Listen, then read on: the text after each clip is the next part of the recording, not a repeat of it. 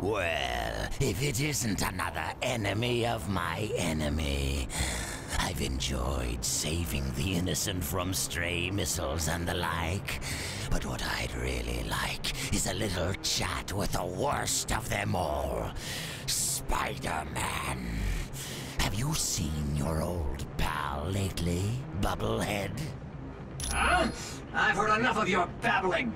Well then, why don't you listen to the lovely sounds of me shredding you into little teeny bits?